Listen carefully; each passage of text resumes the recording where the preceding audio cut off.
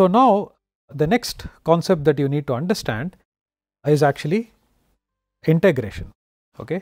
So, normally when you uh, look at a curve right. So, let us take any uh, curve of this shape. If you looked at mathematics what happens is that the area under the curve is very important that is area under the curve is very important and the area under the curve can be determined by integration. Okay, so, again I not go into too many details, but uh, you know this uh, area under the curve is useful in terms of when you want to quantify. Okay. So, in NMR spectroscopy what we normally see are extremely quite uh, sharp peaks. Okay.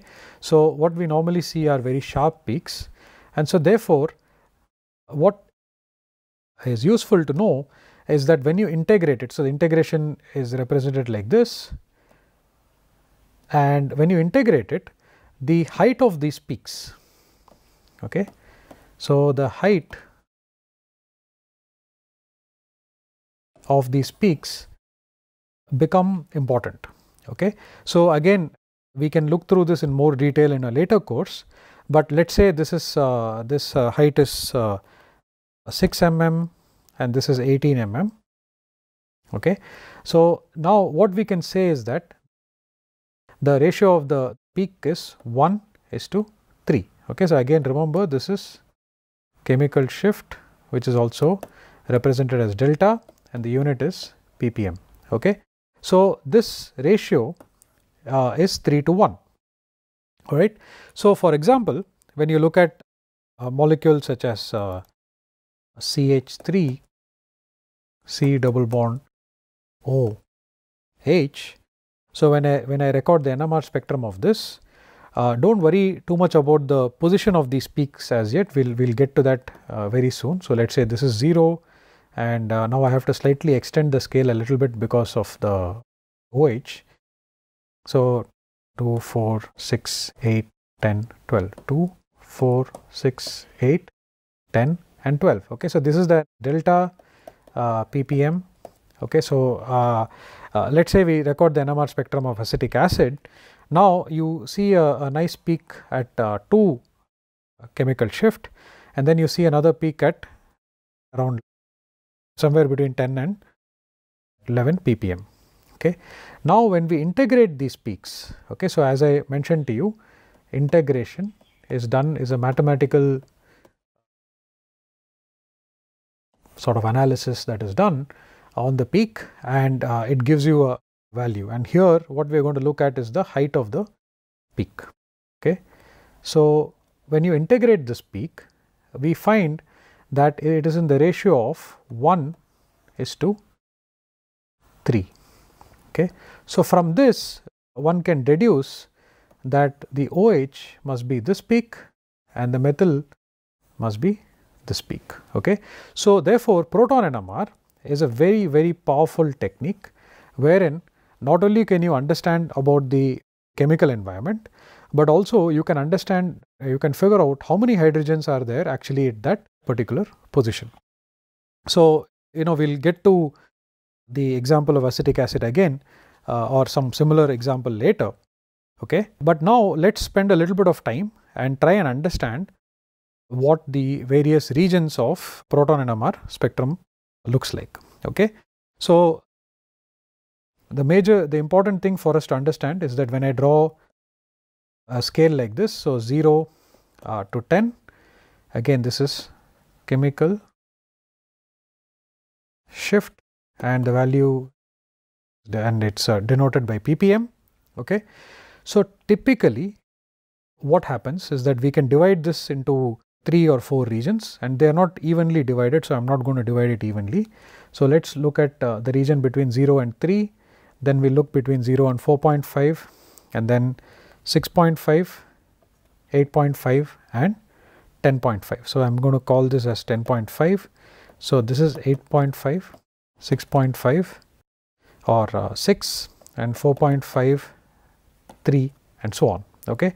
Now, let us look carefully at these regions. So, as we already know, so this is where uh, tetramethylsilane comes. So, it is Si, Me, I am sorry CH3, CH3, CH3 and we already discussed that uh, silicon is less electronegative. So, less electronegative and therefore, it shows up at around uh, at 0 okay and keep in mind we are looking at these uh, hydrogens over here. Now, when compared with silicon carbon is obviously more electronegative. So, if we look at you know CH, CH2 and CH3 okay. So, these are hydrogens uh, which are sp3 hybridized okay. So, when I look at these hydrogens that is CH, CH2 and CH3 and if they are connected only to carbon then since carbon is more electronegative compared to silicon we can expect it to be in this region that is between 0 and 3 okay and you know the uh, so i'm just going to draw it over here. So this is this ch2 can be expected to be here. We'll look at in more details very soon. Now when you add an electronegative atom for example let's say you add an or that is uh, an ether that because the more electronegative atom so these hydrogens are going to we are talking about these hydrogens because this is going to be more electronegative that is this OR is more electronegative. So, uh, it uh, becomes more deshielded. Okay. So, keep in mind that we discussed already that this is the shielded and this is the deshielded.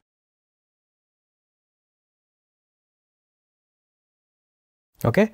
So, therefore, being electronegative oxygen being electronegative it pulls electrons from from this uh, carbon hydrogen bond and this as a consequence this hydrogen starts you know sort of resonating at a higher chemical shift or it is called as more deshielded okay now moving along uh, we go to the next region which is between 4.5 and approximately 6.5. So, th this is the region where typically olefins show up. Okay, so, where you have R, H, H, R. Okay. So, these hydrogens which are attached to an sp2 carbon typically show up between 4.5 and 6.5. Okay. So, again you can understand that uh, sp2 carbons are more electronegative and so they are going to pull electrons from the hydrogen and make it more deshielded. The next important region which we are going to use quite extensively is that of a aromatic ring which is a benzene ring. Okay. So, again we will get into more details later about the origin of this uh, of this effect, but aromatic rings typically show up between 6.5 and 8.5.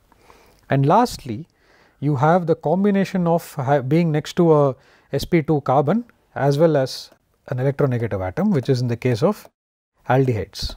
Okay. So, these hydrogens of aldehydes actually show up between 8 and 10. Okay. So, this cartoon looks a little uh, cluttered now, uh, but I, I, would urge you to go back and look at any good textbook. Uh, Clayden is a good uh, book to look at and uh, in the edition that we are looking at uh, this shows up in chapter 3 where it talks about determining organic structures. Okay. And there is also a separate chapter, chapter 13 on NMR. I would urge all of you to go back and look at it. Okay. But bottom line is that you need to understand that NMR spectroscopy uh, allows us to develop a framework where we can understand the local environment around the hydrogen.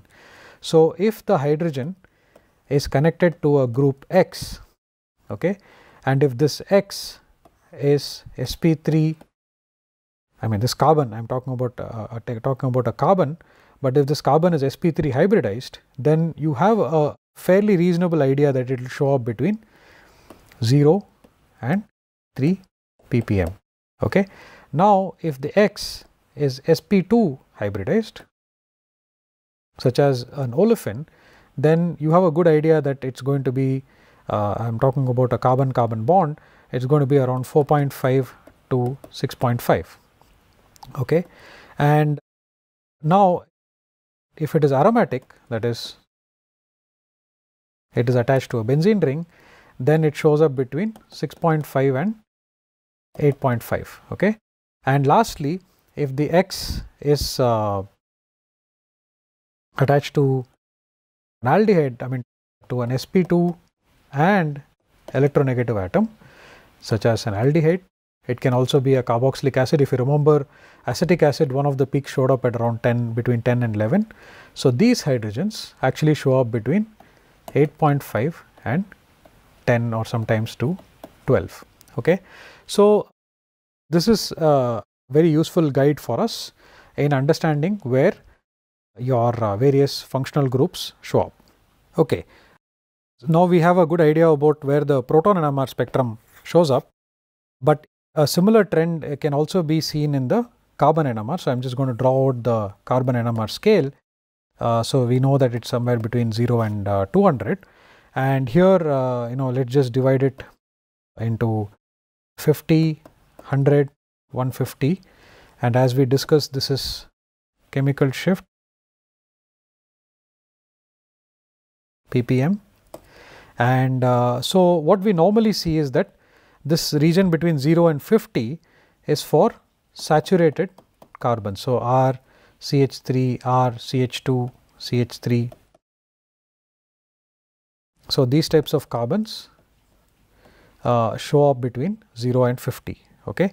And much like the proton NMR, the region between 50 and 100 uh, as we saw in proton NMR it was uh, between uh, 3 and uh, 4.5 uh, is when you have a electronegative atom such as an ether R O CH2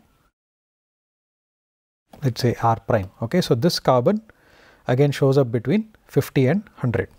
Okay. In the carbon NMR interestingly both olefins and aromatic compounds Uh, which we will look at in detail later show up at around the same range between 100 and 150. So, this is the region where the aromatic carbons show up. And lastly, as you would have correctly guessed, the carbon attached to a, a carbonyl typically shows up you know is between 150 and 200. So, together these you know if you record the proton NMR as well as the carbon NMR, uh, you get a very very good idea about what kind of functional groups, what is the local environment etc etc. Okay. So, therefore, together this is going to be very useful in determining the structures of molecules. Okay. Uh, now, what we will do is we will just take a couple of uh, examples and uh, try to understand uh, whether we can you know see whether we can understand the NMR spectrum after looking at the uh, spectrum. Okay.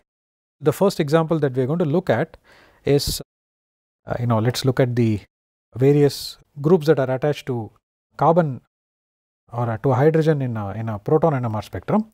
So, let us say we take 0 to 10. Uh, so, as we discussed, this is CH3, Si, CH3, CH3, CH3. So, this is uh, tetramethyl uh, silane and now, if you uh, actually record, uh, if you pre prepare a molecule uh, such as methyl uh, lithium, okay, lithium, uh, the electronegativity of lithium is 1.0 uh, and the electronegativity of carbon is 2.5 as we discussed earlier. So, what you would expect is that the carbon which is next to lithium is going to be you know quite shielded because the you know this is going to increase the being an electropositive uh, group or a less electronegative group it is not going to pull electrons as much and so it is going to be more shielded okay it is going to be more shielded. So, if you record the NMR spectrum of methyl lithium it shows up somewhere around minus 1.94. Okay. So, the methyl lithium as we would have expected uh, shows up uh, in a more shielded region when compared to tetramethyl silane.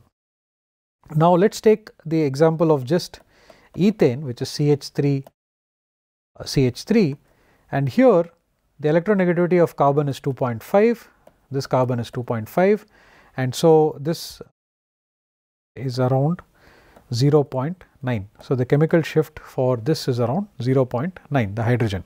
Okay.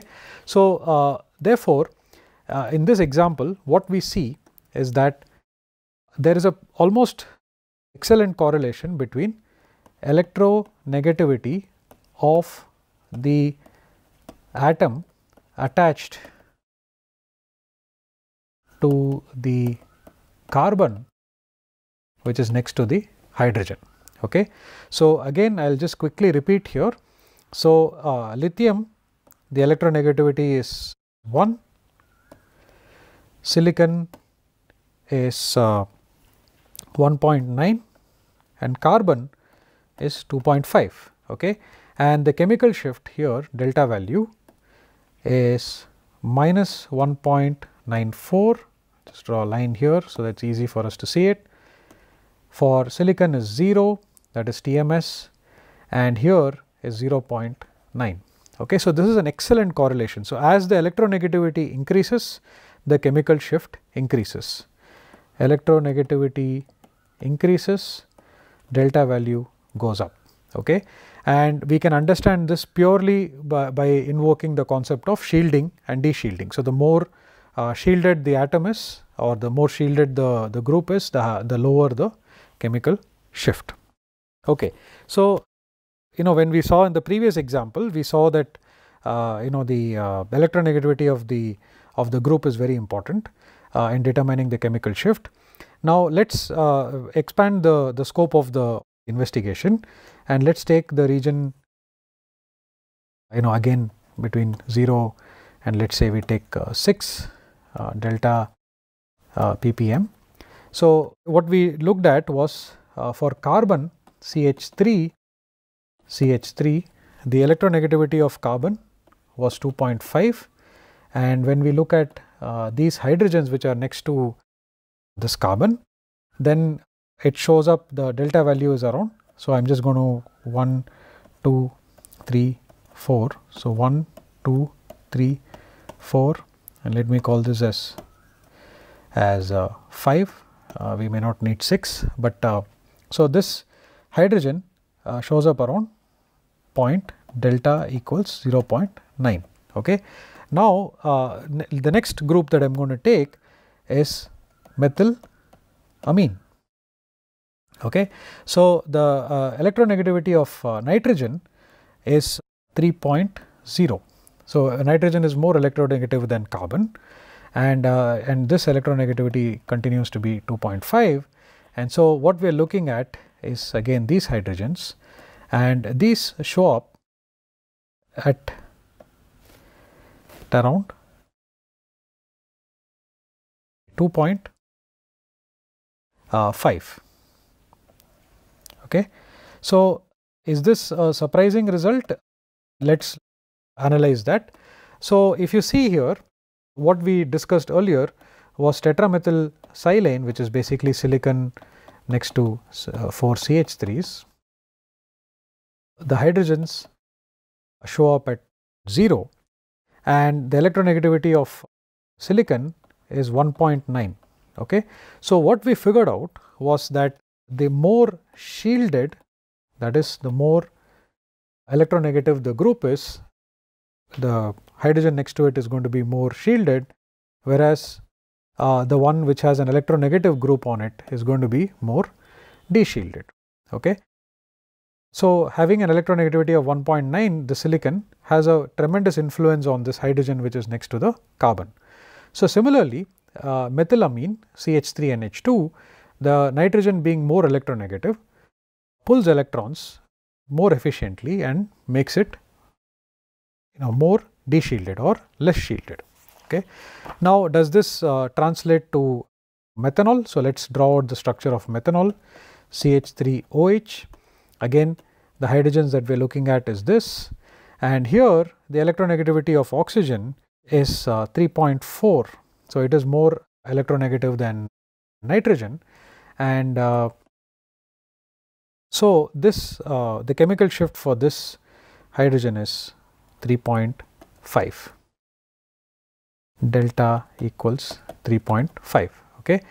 And lastly let us look at uh, fluoromethane which is CH3 F and the electronegativity of fluorine is 4.0 and the chemical shift is of this hydrogens if hydrogen is 4.27 okay?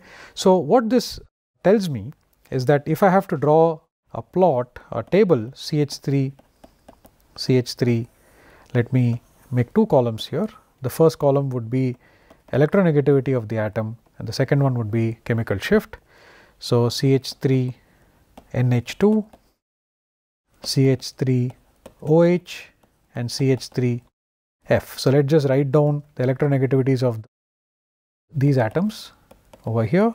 So, this is 4.0, this is uh, 3.5, this is uh, 3.0 and this is 2.5 okay and the chemical shift is in the order of the electronegativity 0.9 2.5, 3.5. So, this value is actually 3.4, but nevertheless it is pretty close and uh, for fluorine it is 4.27. Okay. So, therefore, if you see here it perfectly correlates with the electronegativity of the atom. So, if you expand this uh, discussion from lithium to silicon to carbon to nitrogen to oxygen to fluorine, uh, you will find uh, that uh, you know it, it really beautifully correlates with the electronegativity. Okay.